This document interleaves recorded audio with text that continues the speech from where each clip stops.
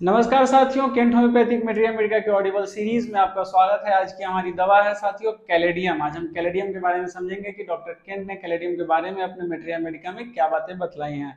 साथियों कैलेडियम का मुख्य रूप से मानसिक लक्षणों पर बहुत अच्छा प्रभाव है और आप मोटा मोटी देखेंगे तो ज़्यादातर सिम्टम्स जो है कैलेडियम के मानसिक सिम्टम्स में ही आते तो आप इस दवा को इस रूप से समझ सकते हैं कि ये मनस पर ज़्यादा काम करती है। तो साथियों, वीडियो को करते हैं स्टार्ट सबसे आग्रह है कि चैनल को जल्दी से जल्दी सब्सक्राइब कर ले, साथ में बेल आइकन ज़रूर दबा ले। कुछ भी पूछने और बतलाने जैसा लगे तो कमेंट ज़रूर करें। और अपने सभी उन जानने वाले साथियों के साथ शेयर ज़रूर कर दें, जो भी होम्योपैथी या बीएचएमएस से किसी भी प्रकार से जुड़े हुए हैं। तो आते हैं अपने टॉपिक पर। कैलेडियम है हमारा आज का टॉपिक तो डॉक्टर केंट अपने मेटेरियल मेडिकल लेक्चर में कैलेडियम के बारे में कुछ इस प्रकार से बतलाते हैं कि कैलेडियम एक आश्चर्यजनक दवा है। संभव है कि आप लोगों ने इसे पढ़ा होगा, समझने की चेष्टा की होगी।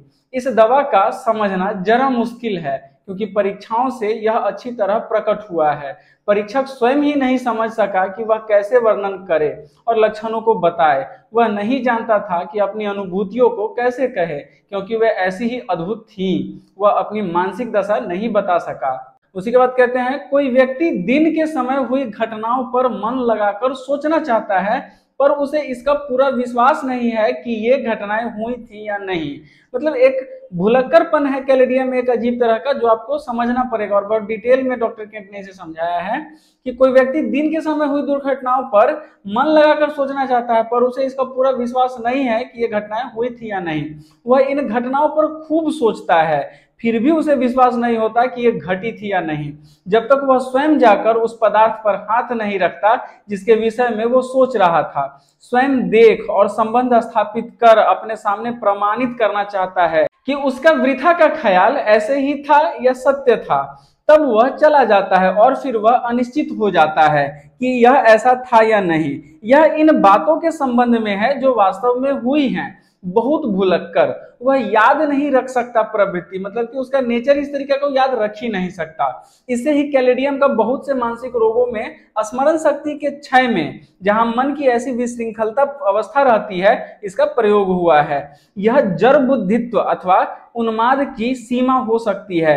दिन भर उसे जो काम करना चाहिए था, उस पर विचार किया करता है। वे केवल उसके मन से निकल गए हैं। वह उन्हें भूल गया है।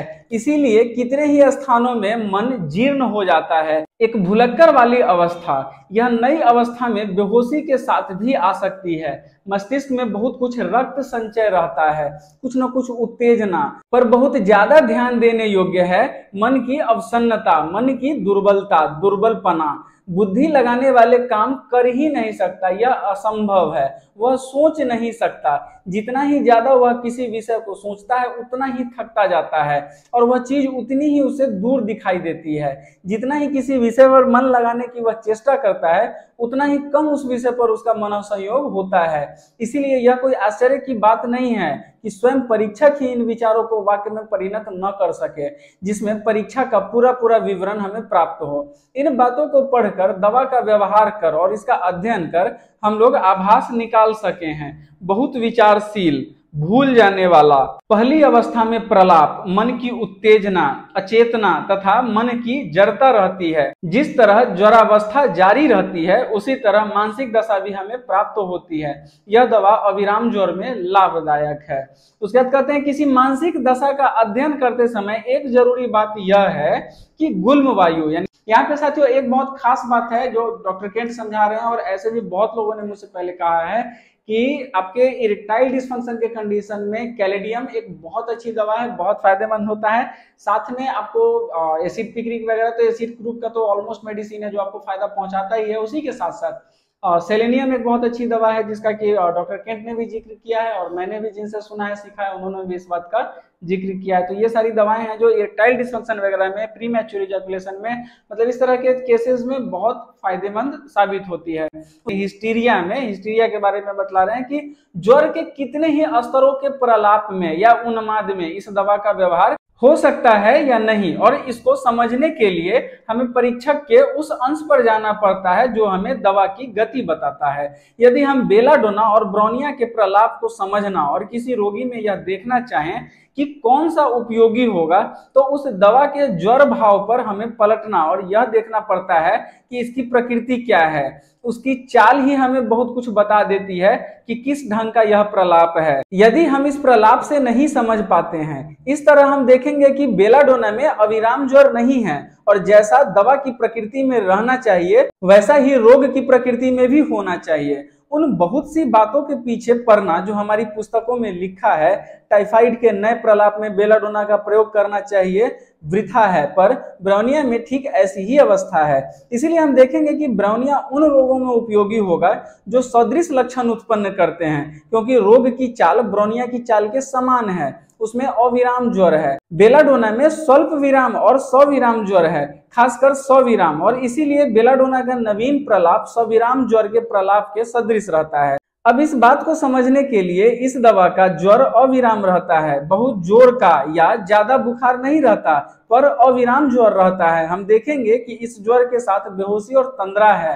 प्रलाप धीरे धीरे बुदबुदाना, मानसिक अवसन्नता, यह दवा धीमे धीमे बुदबुदाने, प्रलाप क्षय हुए टाइफाइड ज्वर में जो रोग धीमी गति से बढ़ रहा है, वह तीव्र प्रलाप नहीं है, पर बुदबुदाहट वाला एक अर्ध चेतना का निम्न रूप बहुत कर बेहोशी एसिड फॉस की तरह जड़ बुद्धित्व एक विभ्रमशाली मन रहता है, आदि में लाभदायक है। अत्यधिक काम चरितार्थ या तंबाकू के जहर के कारण जो शारीरिक और मानसिक अवसन्न हो पड़ते हैं, उन मनुष्यों में भूल जाने की बीमारी, कुछ पुराने व्यभिचारी जो अब संगम में असमर्थ हो गए हैं, उनके लिए यह उपयोगी है, यानी कि जो अब इंटरकोर्स करने के लायक नहीं रह गए हैं और इसका इस तरह का गलत आदत पहले बहुत ज़्यादा रहा हो, उस तरह के लोगों के लिए कैलेडियम एक बहुत अच्छी दवा है। उनमें स्त्री संभोग की बहुत अधिक वासना रहती है, पर संगम शक्ति नहीं रहती। कामुक विचार पर ऐसे व्यक्ति गली के नुक्कर पर खड़े हो जाते हैं और इधर उधर जाती हुई लड़कियों को देखा करते हैं और उनका वीर टपका करता है। यह अवस्था पिक्रिक एसिड और सेलेनियम में भी दिखाई देती है। आप उन रोगियों को तभी आरोग्य कर सकते हैं यदि वे अपना सुधार करना चाहें और यदि आप उन्हें उत्तम जीवन व्यतीत करने में लगा सकें। इसके बिना आप उनकी रक्षा नहीं कर सकते और उन्हें जिनको इन बातों में आनंद मिलता है, बचाने के योग्य भी नहीं है और दवा उन पर क्रिया न करेगी। आरोग्य होने के लिए रोगी को अवश्य ही दवा की सहायता देने के लिए अपनी इच्छा शक्ति लगानी पड़ेगी। उसके बाद कहते हैं, बहुत अधिक स्नायविक, अपनी छाया से भी डरता है। मैंने अब मानसिक स्थिति की बात हो रही है, कामुक भावों के साथ रात भर जागता रहता है, वही सोचता है। खासकर सोने के पहले भविष्य के विषय में भयातुर मतलब बहुत ज़्यादा फ्यूचर को लेकर के बहुत ज़्यादा डर रहता है। बीमारी चारों ओर न रहने पर भी बीमारी लग जाने का भय। यह विपरीत अवस्था के साथ पर्याय क्रम से होता है। समय समय पर वह खतरे को समझने में एकदम असमर्थ रहता है। बिना विचारे किसी भी खतरे में वह कूद सकता है। बेवकूफ़ी भरा साहस। हम मानसिक लक्षणों को इस तरह एकत्र कर कह सकते हैं कि वह अत्यधिक उत्तेजनाशील रहता है। आँखें बंद करने पर सिर में चक्कर आना। आँखें बंद कर न तो वह खड़ा रह सकता है, न चल सकता है। पर इसकी पूरी तरह गति शक्ति रहित, यानी कि लोकोमोटर अटैक्सिया गति शक्ति रहित से संबंध नहीं है, जिससे उसमें भी इसका उपयोग हो। झूलता है, लेट जाने और आँख बंद करने पर सिर में चक्कर की अनुभूति। मानो वह झूलती हुई कुर्सी पर है। अमाशय गभर में सुई गरने की तरह दर्द के साथ सवेरे के वक्त मिचली और सिर में चक्कर। वह अपनी आँख खोलकर पूछता है, मैं कहाँ हूँ? मेरे चारों तरफ़ रहकर तुम लोग क्या चाहते हो? मूल ग्रंथ में लंबे चौड़े ख्याल में लक्षण दिए हैं, परंतु मानसिक लक्षण जानना बहुत आवश्यक है। संपूर्ण स्नायु मंडल उत्तेजना की दशा में रहता है, वह भय से भरा रहता है।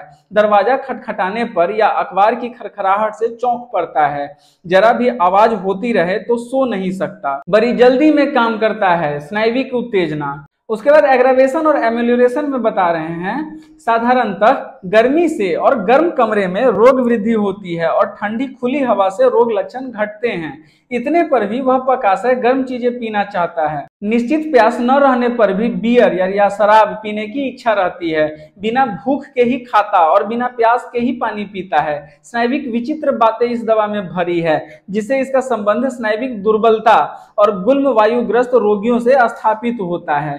डकारे आना इरिटेशन चर्म स्पर्श असहिष्णु रहता है। स्किन बिल्कुल भी टच एकदम सेंसिटिव रहता है। सुरसुरी और कीड़ा रेंगने की तरह स्किन पर एक फीलिंग महसूस होता है उसे। इसमें मकरे के जाल की अनुभूति भी है। मानो कुछ एक लगता है कि मकरा का जाल कहीं लग गया हो तो एक सुसराहट सा अजीब सा फील होता है। उस तरह का भी फीलिंग आपको मिलता है। मानो चेहरे पर मक्खी चलने की अनुभूति रही है। पसीना मीठा होता है और वह दूसरों के साथ किसी कमरे में रहता है। जब उसे पसीना आता है तो मक्खियाँ उसकी ओर पलट पड़ती हैं। पसीने की मीठी गंध मक्खियों को आकर्षित करती हैं। उसके बाद तंबाकू का हृतपिंड, तंबाकू के स्नायविक लक्षण, कैलेडियम सदृश है तथा कैलेडियम सब तरह की स्नायविक अवस्थाओं, तंबाकू और सिगरेट पीने के प्रभाव के लिए उपयोगी है। इसने बहुत बार रोगियों का सिगार एकदम छुड़ा दिया है तथा उनकी जो भयंकर लालसा रहती है जिससे यह अभ्यास त्याग नहीं सकते, यानी कि आदत नहीं छोड़ सकते, उनको छुड़ा दिया है, हटा दिया है। धूम्रपान वालों का सिर दर्द और मानसिक दवाएँ। खुजली बहुत ज़्यादा होती है, खासकर जनेन्द्रिय में। यह योनि में खुजली वाला उन स्नायविक स्त्रियों के लिए लाभदायक है, जो इस खुजली की वजह से रात रात भर जागा करती हैं, तथा साथ ही अस्वाभाविक उत्तेजना भी रहती है। यानी कि वजाइनल इचिंग के लिए कैलेडियम एक अच्छी मेडिसिन है, जो रात भर सोने नहीं देता वजाइनल इचिंग की वजह से। मल कोमल पीला लसदार स्टूल बतला रहे हैं कि स्टूल जो है सॉफ्ट होता है येलो इस थोड़ा सा स्टिकी लसदार भुट्टे के आटे की तरह, जैसा टाइफाइड ज्वर में होता है। मल नली में छुरे से काटने की तरह दर्द होता है। उसके मूत्र संबंधी बहुत से लक्षण हैं। पेशाब बदबूदार, सरा और थोड़ा होता है। चलने के बाद पकाशय में धमक, खालीपन का भाव, पकाशय में फरफराहट। शिथिल लिंग के साथ भयानक कामेक्षा नपुंसकता। सवेरे अर्ध निद्रित अवस्था में लिंग में उत्तेजना होती है, पर भरपूर जागते ही चली जाती है। जब काम वासना खूब जागृत होता है तो शक्ति नहीं रहती। बिना इच्छा के आप से आप लिंगोत्तेजना, करापन और आलिंगन के समय वीर श्राव नहीं होता। इसमें मूत्र नली से श्राव का लक्षण है और सुजाक में लाभ करता है। बलवान मनुष्यों में सुजाक का मवाद गैर मुनासिब तरीके पर रोक दिए जाने के बाद कभी कभी इस दवा का परिणाम नपुंसकता होती है। कैलेडियम ने थूजा की तरह बहुत बार आरोग्य किया है, मुस्क पर खुजलाने वाले उद्भेद। यानी यहाँ कहने का अर्थ है कि सुजाक के तरह का मवाद टाइप का जो घाव होता है, यानी गोनोरिया जैसा तो उसको कैलेडियम जो है, थूजा के तरह बहुत बार ठीक किया है। कहने का अर्थ है कि थूजा का तो अच्छा स्थिति है, थूजा भी काम करता है कैलेडियम भी आपको काम करता है, बाकी सिम्टम अगर आपको मैच करे तो उसके साथ मुस्क पर खुजलाने वाले उद्भेद मतलब पेनिस के हेड पे खुजलाने वाले बॉयस निकलना इरप्शन निकलना तो उसके लिए भी कैलेडियम का आप इस्तेमाल करेंगे। उसके बाद स्त्री जनेन्द्रियों का सबसे ज़बरदस्त लक्षण है भगोष्ठ की खुजली। उसे बाध्य होकर खुजलाना पड़ता है और यह कष्ट उसे शारीरिक और मानसिक रूप से अवनत बना देता है। उसके बाद निद्रा के कुछ विचित्र लक्षण है। नींद स्लीप के सिम्टम्स बता रहे हैं कि निद्रा के कुछ विचित्र लक्षण हैं। रेंगने की तरह मालूम होने के कारण जागता रहता है। खुजली, खासकर जनेन्द्रियों की खुजली के कारण अनिद्रा, यानी कि स्लीपलेसनेस नींद में इस तरह कराहता और गोगियाता है, मानो पड़ोसियों को जगा देगा। बेचैन नींद, उत्तेजित, स्पष्ट सपने मतलब सपना जो देखता है एकदम क्लियर सपना देखता है, लगता है एकदम वास्तविकता से जुड़ा हुआ सपना दिखता है उसे।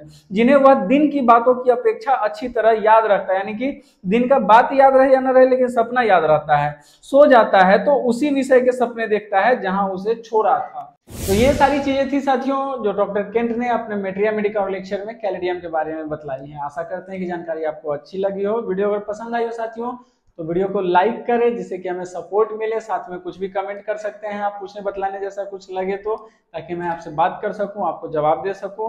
उसी के साथ अगर आपके कोई भी मित्र या साथी हैं जो कि बीएचएमएस या होम्योपैथी से किसी प्रकार से जुड़े हुए हैं तो उनको ये वीडियो शेयर ज़रूर करें और उनसे सब्सक्राइब ज़रूर करा लें। और अगर आप नए हैं तो आप भी सब्सक्राइब ज़रूर कर लें। और साथ में बेल आइकन दबा लें, क्योंकि केंट मेट्रिया मेडिका का ऑडिबल सीरीज़ आपको इस तरह से मेरे साथ पढ़ने के लिए अवेलेबल है।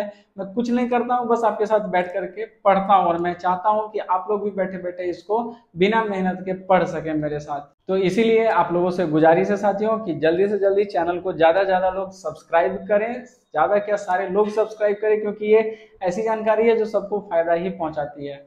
तो इसी के साथ वीडियो को करेंगे साथियों समाप्त। मिलते हैं अगले वीडियो में। तब तक के लिए धन्यवाद।